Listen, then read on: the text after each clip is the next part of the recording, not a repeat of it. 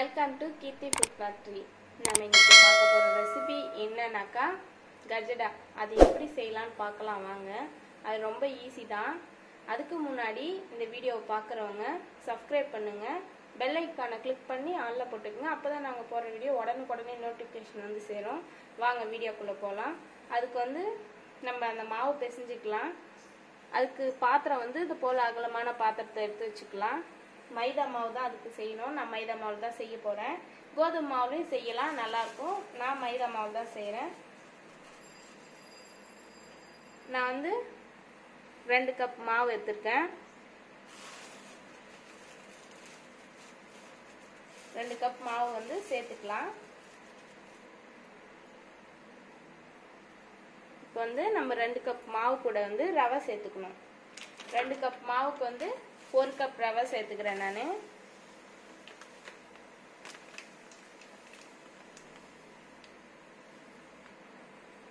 இப்போ வந்து ரவை சேர்த்துக்கலாம். ரவை சேர்த்துட்டோடனே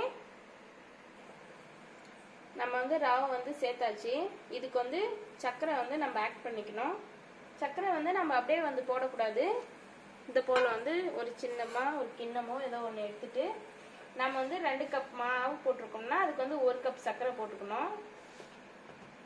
ஒரு கப் சர்க்கரை போட்டு கொஞ்சமாக தண்ணி விட்டு நல்லா கரைச்சி எடுத்துக்க போகிறோம் அதுக்கு முன்னாடி வந்து இது கூட வந்து நம்ம ஏலக்காய் ரெண்டு தட்டி போட்டுக்கலாம்.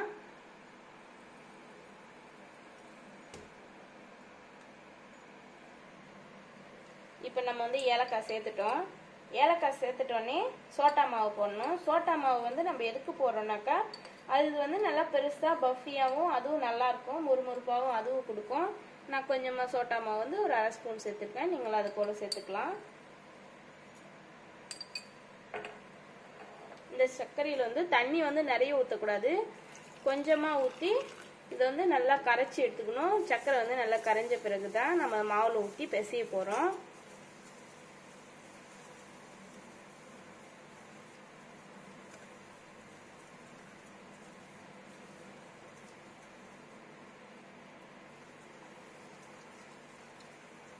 நல்லா கரையிட்டோம். இப்போ வந்து நம்ம வந்து சர்க்கரையை வந்து கரைச்சி எடுத்தாச்சு. இதை வந்து நம்ம மாவில் ஊற்றி சப்பாத்தி மாவு மாதிரி பிசைஞ்சு எடுத்துக்கலாம்.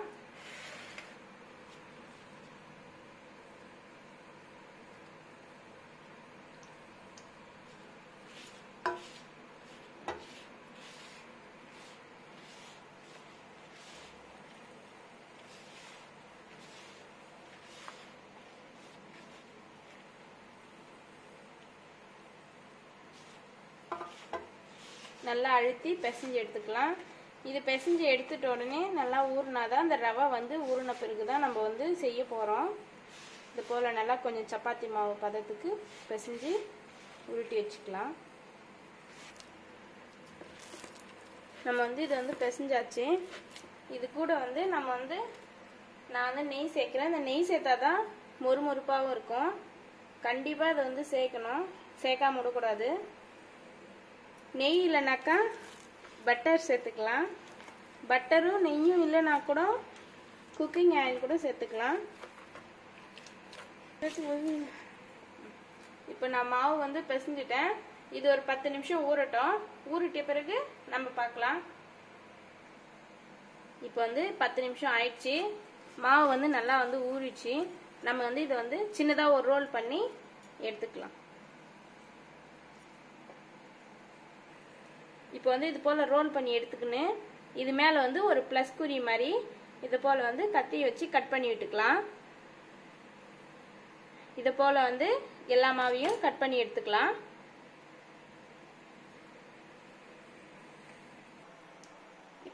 இப்போ நம்ம மாவு வந்து ரோல் பண்ணி ப்ளஸ் குறி மாதிரி போட்டு எடுத்து வச்சாச்சு. ஆயில் காஞ்சோடனே எண்ணெயில் போட்டு எடுத்துக்கலாம். இப்போ வந்து ஆயில் வந்து காஞ்சிச்சு. நம்ம வந்து அதிகமாக வந்து ஹீட் பண்ணக்கூடாது. லைட்டாக ஹீட்டாக இருக்கிறப்ப போட்டு எடுத்துக்கலாம். லைட்டாக ஹீட் இருக்கிறப்ப போடுற போடுறப்ப தான் அடி பிடிக்காது. ஆனால் போட்ட உடனே நம்ம உடனே உடனே திருப்பி திருப்பி விட்டுக்கணும்.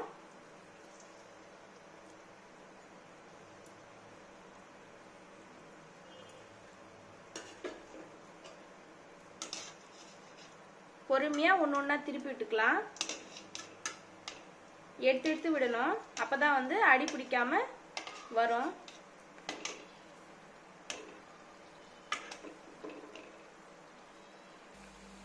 இப்போ வந்து லைட்டாக வந்து செவந்திருக்கு இது வந்து வெந்த பிறகு நம்ம எடுத்துக்கலாம்.